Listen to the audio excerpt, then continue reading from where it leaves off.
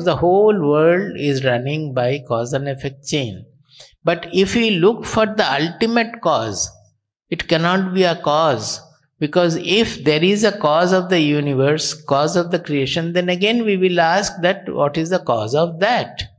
So logically also this causality is restricted within the fragmented universe, in the dual universe we say. In this, the causality is restricted. Absolute cause cannot be there. In the absolute level of the creation, the creation has to be non causal.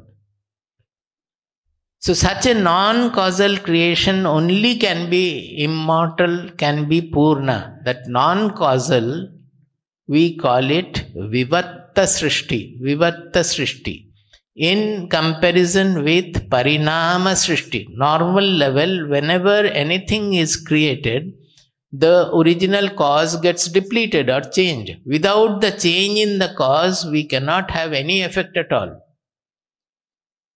Without the sun getting changed from more hydrogen to more helium we cannot have the radiation. As it is radiating it is also undergoing a change. Anything in the world whatever we do the cause is always undergoing a change to produce the effect.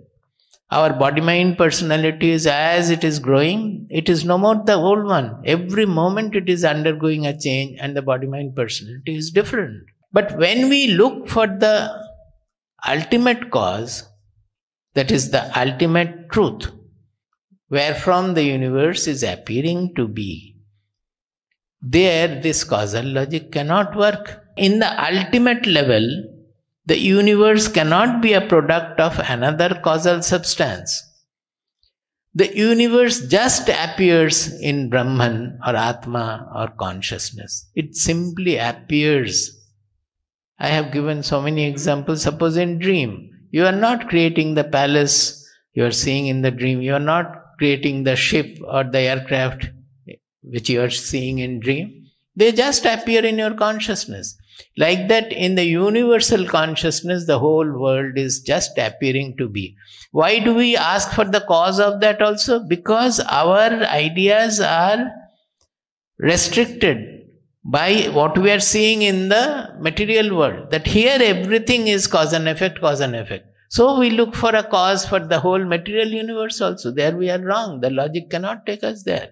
So it is called Vivarta Srishti or apparent creation.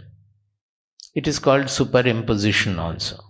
By the appearance or disappearance of the world, nothing changes in Brahman at all.